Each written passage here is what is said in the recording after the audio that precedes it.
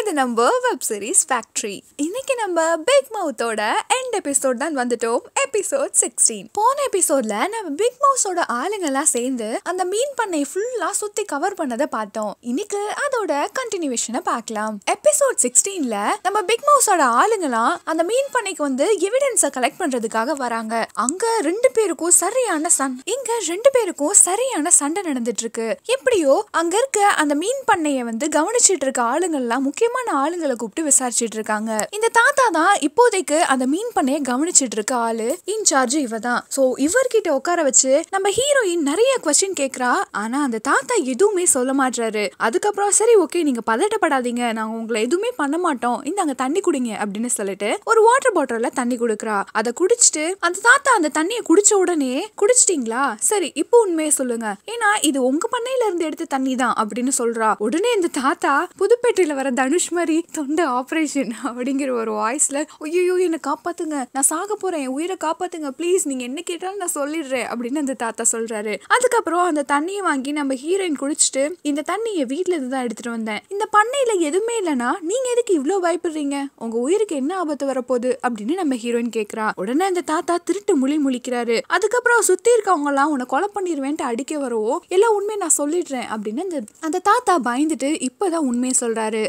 என்னன்னா இந்த பண்ணைக்கு வர தண்ணி எல்லாமே அந்த கெமிக்கல் ஃபேக்டரியில இருந்து வர கழிவுகளை தான் இங்கே அனுப்புகிறாங்க அந்த தண்ணியை ரீசைக்கிள் பண்ணி தான் இவங்க இங்கே மீன் வளர்த்துட்டு இருக்காங்க ஸோ அந்த தண்ணியில் மீன் வளர்க்கறனால ஏகப்பட்ட ரேடியேஷனால் நிறைய மீன்கள் செத்து மிதக்குது. அந்த மீன்கள்லாம் கவர்மெண்ட்டுக்கு தெரியாமல் மீடியாக்காரவங்களுக்கு தெரியாமல் அழிக்கிறது தான் இவங்களோட வேலையே. ஏன்னா விஷயம் வெளியே தெரிஞ்சா அந்த கம்பெனியை க்ளோஸ் பண்ண வேண்டிய நிலைமை வரும். இதை முக்கியமாக இந்த வேலை பார்க்கறதே பாதி கவர்மெண்ட் தான். அந்த கவர்மெண்ட் யாருன்னா இறந்து போன அந்த தலைவர் இருக்காங்கல்ல அவங்க தான் பாதி கவர்மெண்ட்டு. மிலிட்ரிக்கு தேவையான மெடிசன்ஸ்லாம் சப்ளை பண்ணுறது தான் இவங்களோட வேலை. கவர்மெண்ட்டுக்கு நல்லது பண்ணுறேன் நல்லது பண்ணுறேன்ட்டு மக்களோட உயிரை அழிச்சிட்டு இருக்காங்க. இந்த விஷயம் எல்லாமே நம்ம ஹீரோயினுக்கு தெரிஞ்சிடவும் ரொம்பவே பதட்டப்பட ஆரம்பிக்கிறாங்க. இங்க இப்படி விசாரிச்சிட்டு இருக்க விஷயத்த அந்த கொலகாரன்ல ஒருத்தவனுக்கு இன்ஃபார்ம் பண்ணிடுறான். அந்த மீன் பண்ணையில இருக்க ஒரு ஆளு. அவ உடனே வேகமா மேயருக்குன்னு ஒரு அசிஸ்டன்ட் இருக்கான்ல அவன் கிட்ட வந்து இன்ஃபார்ம் பண்றான். உடனே அவனோட ஆளுங்கெல்லாம் இங்க அனுப்புறாங்க. இப்படி இந்த சீன் இங்க நடந்துட்டு இருக்கு.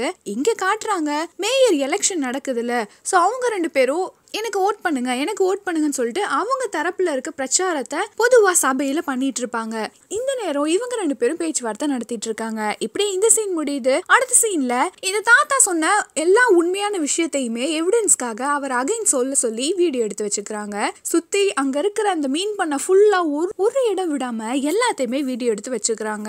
அதுக்கப்புறம் இந்த மீன் பண்ணையில வேலை செஞ்சு வந்து எத்தனை பேர் இறந்துருக்காங்க அப்படின்னு எல்லா லிஸ்ட்டுமே எடுத்து வச்சுக்கிறாங்க. இங்க வேலை செஞ்சு வந்தவங்களை தவிர மக்கள் எத்தனை பேர் பாதிக்கப்பட்டிருக்காங்க அப்படிங்கிற லிஸ்டையும் எடுத்து வச்சிருக்காங்க இவங்க இப்படி பேசிட்டு இருக்க டைம் அந்த கொலகாரங்க அவங்களோட அடியாளுங்களை அனுப்பிச்சு வச்சிடுறாங்க. இப்படி இந்த ரெண்டு டீமும் இங்க செம்மையா ஃபைட் பண்ணிட்டு இருக்காங்க. ஒரு பெரிய கலவரமே இங்க நடந்துட்டு இருக்கு. இந்த டைம் நம்ம ஹீரோயினை காணோன்னு அப்பா கால் பண்றாங்க. எங்கம்மா இருக்க? இங்க எலெக்ஷன் போயிட்டு இருக்குல்ல. ஹர்வாக்கு ஹெல்ப் பண்ணி இங்க இருக்கலாம்ல. எங்கம்மா போயிட்ட? அப்படின்னு அப்பா கேக்குறாரு. உடனே நம்ம ஹீரோயினுக்கு ரொம்ப கஷ்டமாகுது. கொஞ்ச நேரம் நான் பிரிஞ்சிருக்கப்பவே அப்பால தாங்கிக்க முடியலையே. நான் எங்கன்னு தேடுறாரு. இவர் விட்டுட்டு போனா இவர் எவ்வளவு கஷ்டப்படுவாருன்னு அப்பாவை நினைச்சிட்டு ரொம்பவே அழுகுறா. இல்லப்பா அது பக்கத்துல தான் வேலை விஷயமா வந்திருக்கேன். நான் வந்துடுறேன்ப்பா சீக்கிரம். அவ்வளவுதான் நான் வந்துட்டு இருக்கேன் அங்கதான் வரேன் அப்படின்னு அழுதுகிட்டே தடுமாற்றத்தோட பேசுறா. நம்ம அப்பா ஓகேம்மா சீக்கிரமா பத்திரமா வா சேஃபா வான்னு ரொம்ப பயந்த மாதிரி அப்பா பேசுறாரு. அப்படியே நம்ம ஹீரோயினும் அழுதுட்டே கட் பண்றா. அடுத்த சீன்ல மேயர் எலெக்ஷன் நடக்கிற இடத்துக்கு தான் வந்திருக்கா. அங்க வந்துட்டு உங்க எல்லாருக்கும் நான் ஒரு உண்மையை சொல்ல போறேன். இவ்வளவு நாள் கெமிக்கல் ஃபேக்டரி கெமிக்கல் ஃபேக்டரின்னு சொன்னனால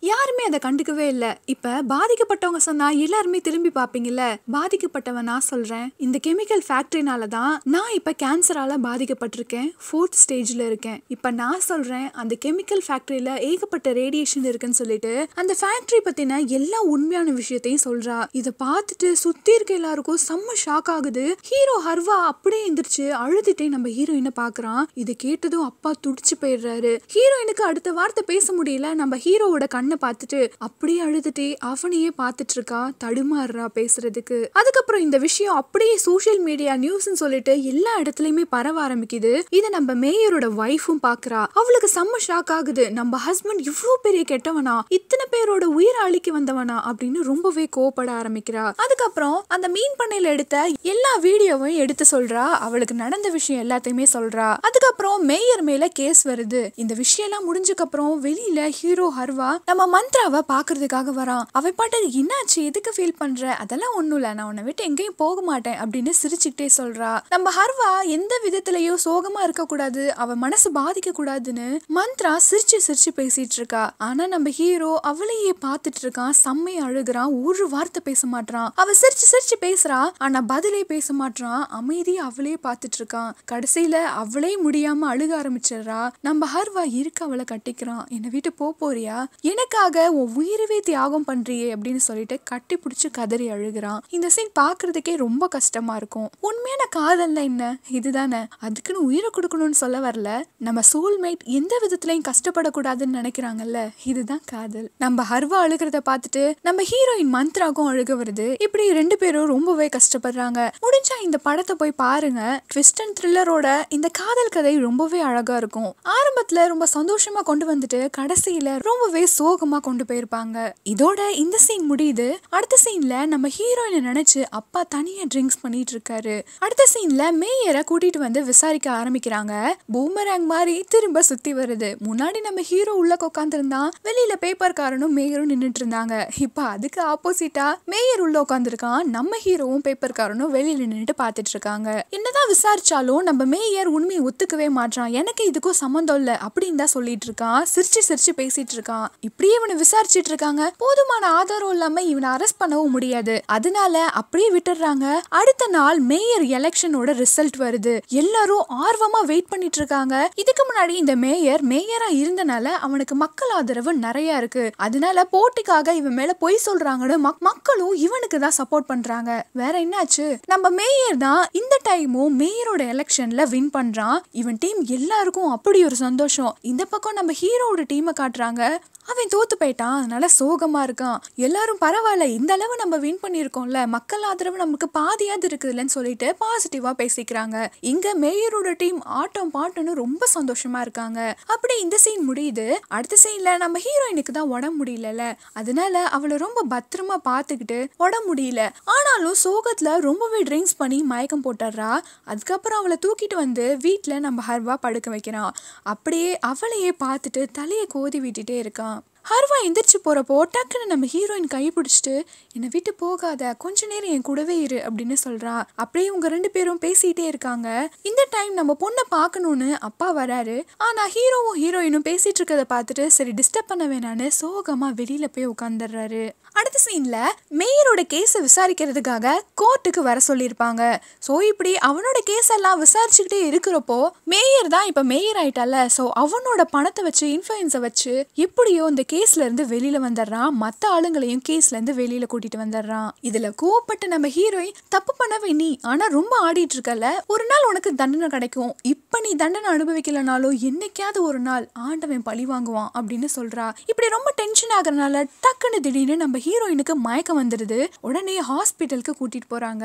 ஹாஸ்பிட்டலுக்கு கூட்டிட்டு போனா இவளை கடைசி ஸ்டேஜ்னு சொல்றாங்க. காப்பாற்ற முடியாதுன்னு சொல்றாங்க. இதை கேட்டுட்டு நம்ம ஹீரோ ஹர்வாவால தாங்கிக்கவே முடியல. ஆனா இது எதையும் நம்ம ஹீரோயின் கிட்ட காட்டிக்க கூடாதுன்னு அவகிட்ட எதுவுமே சொல்லாம சிரிச்சு சிரிச்சு பேசிட்டு இருக்கான். கண்டிப்பா நீ சரியாகி வீட்டுக்கு வந்துருவ பாரு அப்படின்னு பேசிட்டு இருக்காங்க. ஆனா நம்ம ஹீரோயினுக்கு தான் எல்லாமே தெரியுமே. நான் உயிரோட இருக்க மாட்டேன் சீக்கிரம் பொழைக்க மாட்டேன்னு அவன் மனசுக்குள்ளேயே பேசிக்கிறா. இப்ப நம்ம ஹர்வா அவளோட தலையை அழகா கோதி விட்டுட்டு நீ நல்லா சாப்பிடணும் ரெஸ்ட் எடுக்கணும். என்னை பத்தி யோசிக்காத. நீ நல்லா சாப்பிடு ரெஸ்ட் எடு. இனிமே நமக்கு எந்த பிரச்சனையும் இல்ல. நம்மளோட பழைய வாழ்க்கையை சந்தோஷமா வாழலாம் அப்படின்னு சொல்றா. அவகிட்ட பேச பேச நம்ம ஹர்வாக்கு அவ்வளோ அழுக வருது. ஆனா அழுகையெல்லாம் அடக்கிக்கிட்டு இவள்கிட்ட காட்டக்கூடாதுன்னு அவ்வளோ கஷ்டப்பட்டு பேசிட்டு இருக்கான் இதை புரிஞ்சுக்கிட்ட நம்ம ஹீரோயின் அப்படியே அவன் தலையை கோத கோத கண்ணை மூடிட்டே அழுகையோட கண்ணை மூடுறா. இதோட இந்த சீன் கட் ஆகுது. அடுத்த சீன்ல மேயர் தான் காட்டுறாங்க. வழக்கம் போல அவனோட ஸ்விம்மிங் பூல்ல ஸ்விம் பண்ணிட்டு ரிலாக்ஸ் பண்ணிட்டு இருக்கான் இந்த டைம் நம்ம ஹீரோ ஹர்வா அவன் கிட்ட போய் பேசுறான். என்ன எல்லா விஷயத்தை விட்டு வெளியில வந்துட்டோம் ரொம்ப சந்தோஷமா இருக்கியா? அப்படின்னு நம்ம ஹீரோ சிரிக்கிறான். இப்போ மேயரும் வெளியில வந்துட்டு என்ன யாராலையுமே வீழ்த்த முடியாது. அப்படின்னு கெத்தா டயலாக் பேசிட்டு இருக்கான் இப்படி அவன் பேசிட்டு இருக்க நம்ம ஹர்வா இந்த ரியாக்ஷனுமே பண்ணாம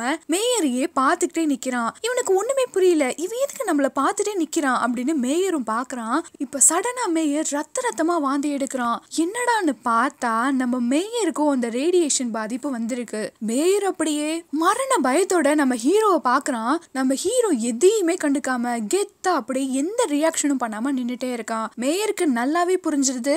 பூமராங் மாதிரி நம்ம பண்ண விஷயம் திரும்ப நமக்கே வந்திருக்குன்னு. அப்படியே அந்த வாட்டர் வியூவை காட்டுறாங்க. அந்த வாட்டர் ரேடியேஷன் கலந்த வாட்டர்னு தெரிய வருது. அப்படியே பயத்தோட நம்ம ஹீரோவை மேயர் பாக்குறான் இப்படி நீ பண்ணுவான்னு நான் எதிர்பார்க்கவே இல்லடா. அப்படிங்கிற மாதிரி இருக்கும் நம்ம மேயரோட லுக்கு உனக்கு என்ன கோவமா இருந்தாலும் ஏன் மேல காட்டியிருக்கணும்ல. நீங்க பண்ண தப்பு ஒரு பாவம் அறியாத என் ஒய்ஃப் மேல பட்டிருக்கு. அவ உங்களுக்கு என்னடா பாவம் பண்ணா? அப்படின்னு அழுகுறான். அப்படியே நம்ம மேயர் ரத்த ரத்தமா வாழ்ந்து எடுக்கிறான். அவன் அணு அணுவா சாகுறத நம்ம ஹர்வா நின்னு பார்த்துட்டு கடைசியாக கீழே விழுக போறப்ப திணை விதைத்தவன் திணை இருப்பான் வினை விதைத்தவன் வினை இருப்பான் தப்பு பண்ணவன் என்னைக்காவது ஒரு நாள் தண்டனை அனுபவிப்பான் அப்படின்னு சொல்லிட்டு செம்ம கெத்தா ஹீரோ போறான். அப்படியே இந்த சீனோட நம்ம மேயரும் இறந்து போறாரு. அடுத்த சீன்ல அபிஷியலா நம்ம ஹீரோ தான் பிக் மவுஸ் ஆகுறான். அப்படியே நம்ம ஹீரோ என்னென்னலாம் பண்ணா அப்படின்னு நினைச்சு பாக்குறான். மேயரோட வைஃப் இருப்பாங்கல்ல அவங்க மேயர் தான் தப்பு பண்ணான்னு தெரிஞ்சதுக்கு அப்புறம் நம்ம மேயரை ரொம்பவே லவ் பண்ணிருப்பாங்க அதனால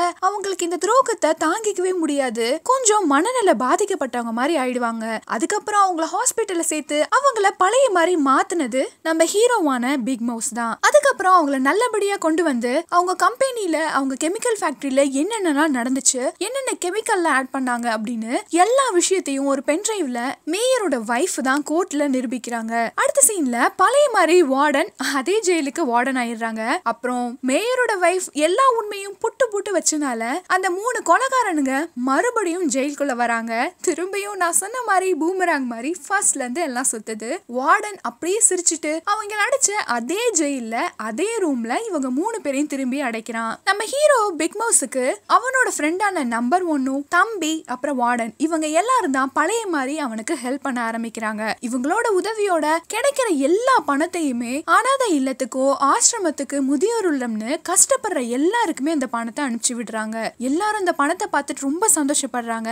அதே பிக் மவுஸ் சிம்பிளோட ஊர் மக்கள் எல்லாருக்குமே நல்ல விஷயம் பண்றான் நிறைய ஹெல்ப் பண்ண ஆரம்பிக்கிறான். இது எல்லாத்தையுமே நினைச்சிட்டு நம்ம ஹீரோ வேகமா கார் எடுத்துட்டு போறான். கார்ல போயிட்டு இருக்கப்பவே நம்ம ஹீரோயின் மந்த்ரா பேசினதை நினைச்சு பார்த்துட்டே இருக்கா. அன்னைக்கு ஒரு நாள் மந்த்ரா நான் இல்லைனாலும் நீ எப்பவுமே சந்தோஷமா இருக்கணும். நிறைய மக்களுக்கு ஹெல்ப் பண்ணணும். இந்த வேர்ல்டுக்கு நீ தான் கடவுள். இல்லாதவங்களுக்கு ஹெல்ப் பண்ணு அப்படின்னு சொல்லியிருப்பா. அது எல்லாத்தையுமே நினைச்சு பார்த்துட்டு வேகமா கார் ஓட்டிட்டு எங்கேயோ போயிட்டு இருக்கான் எங்கடா போறான்னு பார்த்தா எங்க போறான்னு சொல்லல. ஆனா அப்படியே அவன் கார் சீட்டுக்கு பக்கத்துல பார்த்தா ஃபியூனரலுக்கு கொடுக்க வேண்டிய ஒயிட் கலர் பொக்கே இருக்கு. இதுலயே நம்ம புரிஞ்சுக்கலாம். நம்ம ஹீரோயின் மந்த்ரா இறந்து போயிட்டான்னு. இதோட பிக் மவுஸ் டிராமா முடியுது. நம்ம பிக் மவுஸ் ஸ்டார்டிங்ல ரொம்பவே காதலோடைய சந்தோஷமாவும் காட்டினாங்க. இதே எண்ட் எபிசோட்ல சோகமா தான் முடிச்சாங்க. ஆனாலும் நம்ம ஹீரோ பிக் மவுஸ் ஆகி இல்லாதவங்களுக்கு ஹெல்ப் பண்றாங்கிற விஷயம் நமக்கு ரொம்பவே ஆறுதலா இருந்துச்சு. இது ஒரு பக்கம் இருக்க இந்த டிராமா ஃபுல்லாவே நம்பிக்கை துரோகத்தையும் பூமராங் பத்தியும் தான் சொல்லியிருப்பாங்க. நம்ம பார்க்குற ஒவ்வொரு ட்ராமாவும் நமக்கு ஒரு மோட்டிவேஷனை கொடுத்துட்டே இருக்கும்.